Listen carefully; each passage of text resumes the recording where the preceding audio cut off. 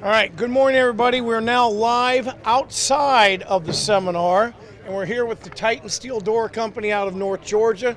Damon Sonamaro, welcome. Glad you're on the team. Glad we got a couple of questions that were typed in earlier. All right. All right, let me start with this. The industry is aware that Titan Door Company has been a hollow metal manufacturer for just six years. But what other product lines have you developed and are able to bring to the market this year and going forward? Great question. Um, thanks, thanks for asking that. Well, I'm a, great, pretty, I'm a great, I'm a great question. pretty exciting news. So uh, today, today at the seminar, we're actually launching our Gladiator wall system um, and our Titan Shield system, which is our ceiling panels. So we have both the wall panels edition.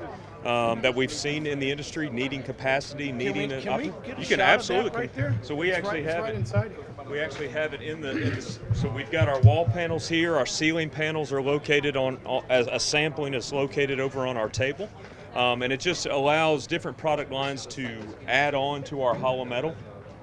But in this, we can actually uh, incorporate it in our plant, so it's more of a seamless transition. Get away from the the the on-site type fabrication. is something that we'll work together with the architects. But today we're, we're launching the, the Gladiator wall panel system. That's our number one, and then number two is both the single skin and the double skin uh, ceiling panel under our Titan Shield uh, marketing campaign. So.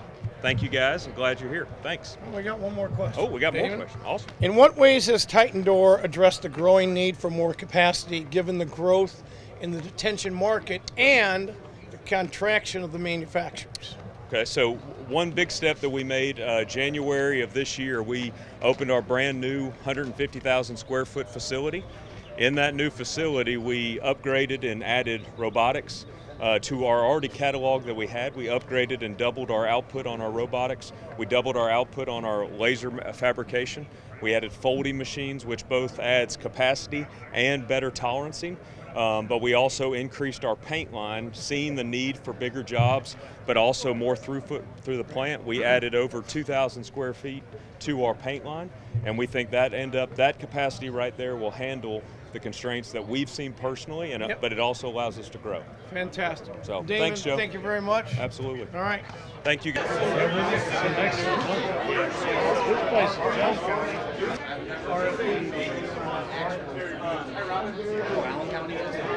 All right, we are now here sitting in front of the Accurate Door Control Company. Got Jason Lowy, the Vice President of Operations, TJ Rogers, the CEO. Uh, our personal opinion on this team is they're the number one door control company and innovator in security electronics in the country. So, TJ, we've got a couple questions. What sets Accurate Door Controls apart from your competition? Well, we feel like we set ourselves apart because of our longstanding uh, time in our industry. We spend a tremendous amount of time researching, developing product, also training our staff and training the owner staff as well. And probably the single biggest thing, and we keep talking about it, is non-proprietary controls, non-proprietary equipment, non-proprietary software, and arming the owners with the ability Well, to you know what? service their That- product. That is a great. That's a great topic that comes up a lot. Everyone says proprietary versus non-proprietary. I look at it and say, look, proprietary controls means that you're going to buy my product, and then for the next 50 years, I'm going to charge you $100,000 just to have my door controls. Right. Or you can take an option of buying non-proprietary. So I think sometimes when we talk about it, we take for granted that we know what that means. I don't think a lot of owners and architects really understand. It's not so much that it's proprietary, it's the service contract that you have to pay for every year that you don't realize when you go to bid the job. So why don't you guys address that? That is a really good point, Joe. And and so what happens is customer or excuse me, uh, integrators that have a proprietary software and hardware approach, what they do is they they lowball the job, get in there, and then for the next 15 years, as you indicated, will charge you a service or maintenance fee, and it's getting even more egregious. What is also happening is people are doing we'll call it web-based services. So what you have to do is have a subscription to actually have full control of your system, and this company won't support you. Which is ridiculous because exactly. you just bought it. You just bought it, and then you have to buy a subscription to maintain it and get support for it. So that's we don't do that. We arm owners with the ability to work on it themselves, and we're there to support them with whatever capacity they need. Right, we have another great question. TJ and Jason, what is the process to make my project successful overall? Not just door, how do the door controls have to work with all the rest of the products that we talked about earlier today? Well, that's a great, another great question, Jace. And our team, Jason and I, and all of our people that develop the projects, it's key that we are coordinating with all the other manufacturers. So, as an example, Steel Cell. We know exactly how Steel Cell is going to assemble their product. We know how your team is going to install that product. Our team is coordinating with your team always. Same thing with our Brink locks. We consult with them. They know what we know exactly how their lock's going to work, the current draw, so there's no issues. That collaboration and that integration in the team, that's what makes our, our, our company successful, all of our companies successful. But before the product gets on site, we've quality control tested that three times before it even leaves our office. So we bring the owners in, they can see it as a completely operational system. Nobody does that. We set up the entire Wayne County as an example, Right. giant project. you know, $600 million. $600 million, giant project. We set up that entire system, every operator station, every camera in our office, and we let that run for months. We tested it, made sure there was going to be no issues for when it got I, I don't think, um, based on my experience of doing this for 43 years, I don't think the other competitors do. I don't think your competitors do that. They don't do that. They they they they they, they try to send a box dissuade. They send a box of parts, and they dissuade people from. They don't want to do Well, that one- because it one- takes effort. One last thing I'll say, and, and I and I think CML would back me up on this. One of our competitors in the detention market. One last thing that both of our companies do is we we have our own installation company. So when you guys are putting your products in, and we're testing them with our doors and locks, right? We work together in the field. A lot of times, what I see is. Well, the detention guy installs the door and lock. The door control guy comes along. Even if his stuff doesn't work, he says, "Well, the locks don't work," and then nobody's there, and everyone's pointing fingers, and the owner Right. gets frustrated, and then afterwards, when the sheriff takes over, then he gets no service. That's exactly right. So, well, here's another example of that. So, our team, we've created years and years and years of developing our team. We hire people, we just don't put them into their job, oh, go do this. We train them on the accurate way of doing things. And the accurate way of doing things is the team way of doing things. So, we have a jail set up in our office. We teach people how to install a lock, how to terminate the device. Right. Then we work with your team, and it's a team. It's not, it's your fault. It's not our problem. It's a problem. Let's fix it. Let's fix it together. Yep. Would you agree with that, Jason? I would, absolutely. All right, guys, well, great interview. Thank, you. you. very Thanks, much. guys. See you back in. Let's go.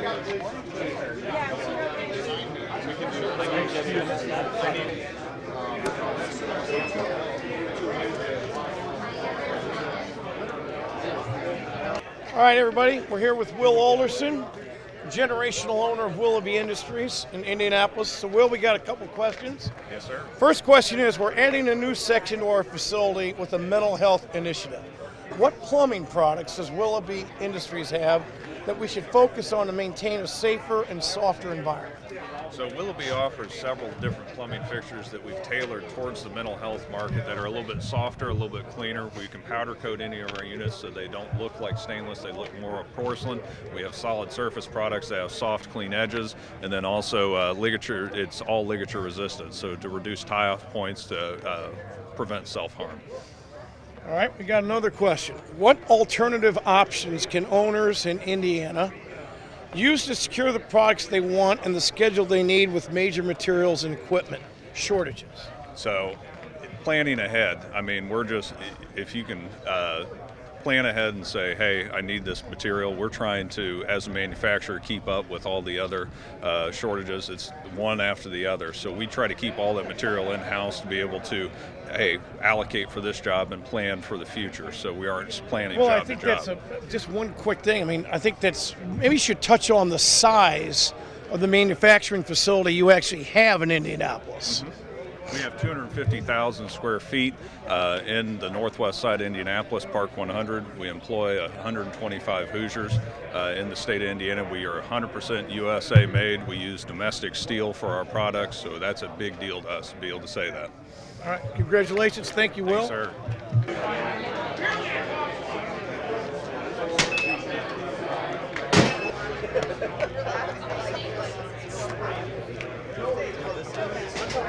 All right. Good morning, everybody. We're now here with Mike Smith, who you saw a little bit earlier, but now we're out here outside live at his new mental health facility. We got a couple questions from the Well, audience. it's just one. It's just one bed, so it's not a whole facility. It's not a whole facility. Okay, all right.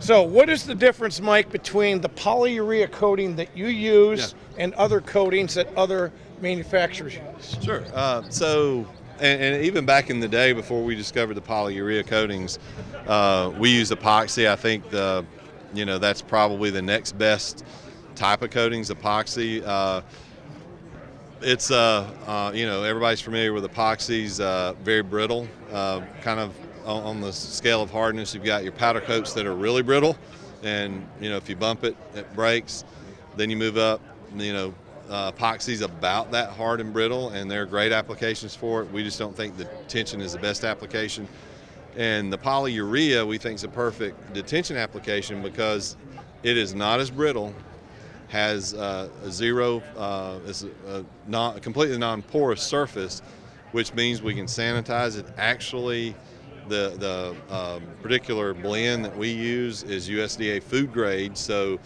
you know what we've been dealing with with the pandemic and other things, we can come in, sanitize these units, and get them back up and going. Now, having said that, the great reason to use it in the detention world is extremely durable. It is basically the same product as Rhino bedliner, Line-X Bedlining. Those are brand names, no trademark infringements. They do great. But we're in an abusive area at best and sometimes extremely abusive, so we want something that's going to stand up for multiple years. We offer up to 10 year warranties on this coating. That was going to And be one of the other yeah. questions. And that's uh, co-written by the coating manufacturer, and I, I just don't think there's anything out there at, at all. Uh, it is just uh, marine and industrial coating, and that's exactly what needs to be in this environment. Well, let's do this because Mike's already given his presentation. Everyone saw. Let's go inside and get some pictures up close. If you guys, you want to go in there? and I'll- Go ahead. I'll point out some of it.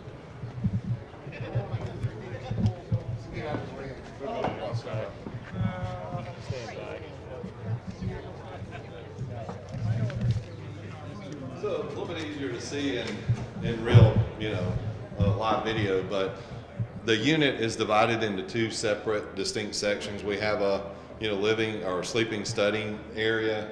Then we have our petitions and, you know, these can vary in size and vary in how much we obscure the glazing. And, and they're meant for the passerby to not be able to have a direct view into the bathroom, grooming area, shower area. We'll step in a little closer and move into the second part.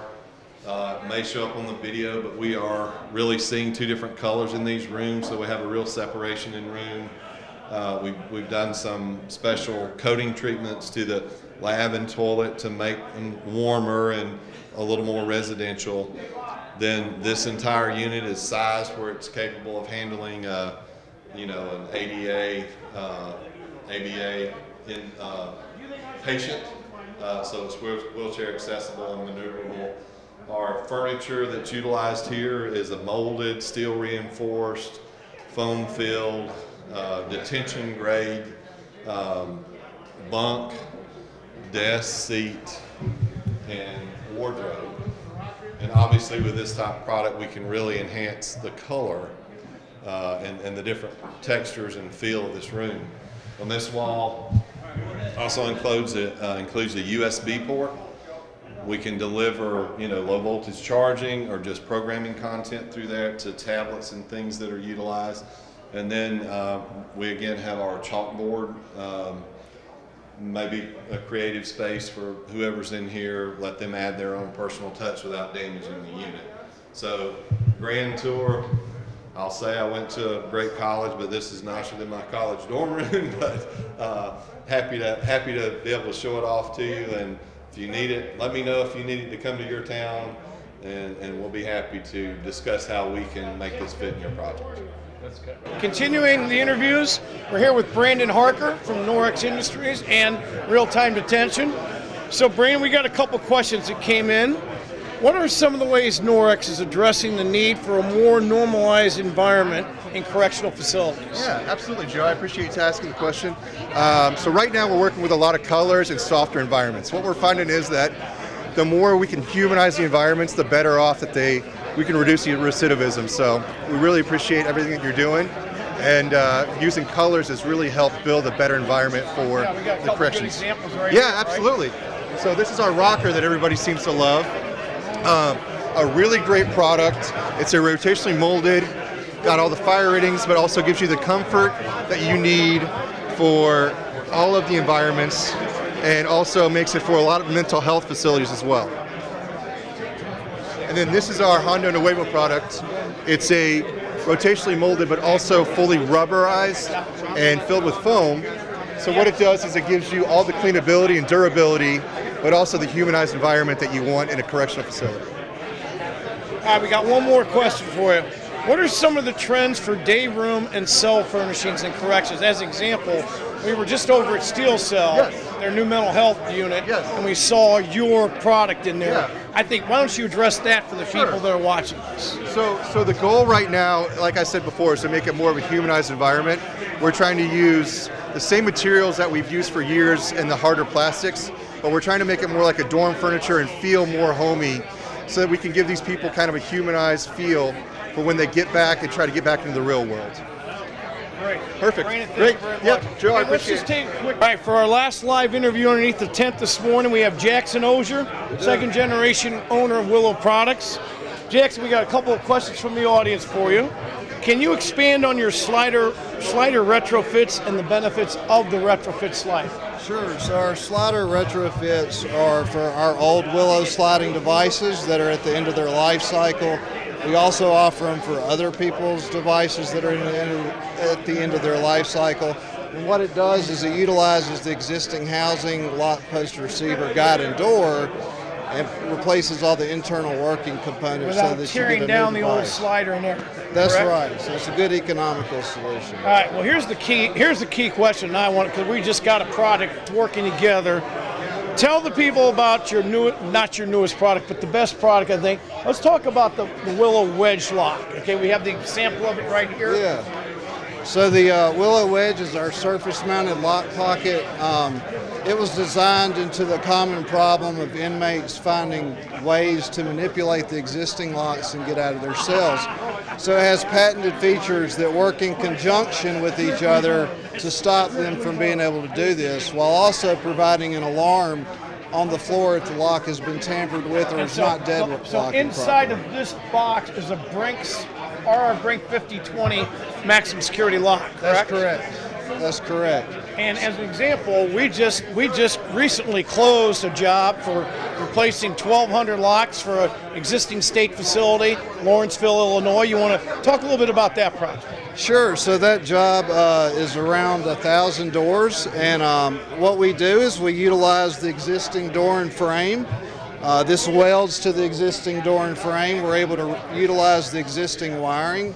Um, they're replacing the controls at that facility, so we're able to make this work with the existing controls.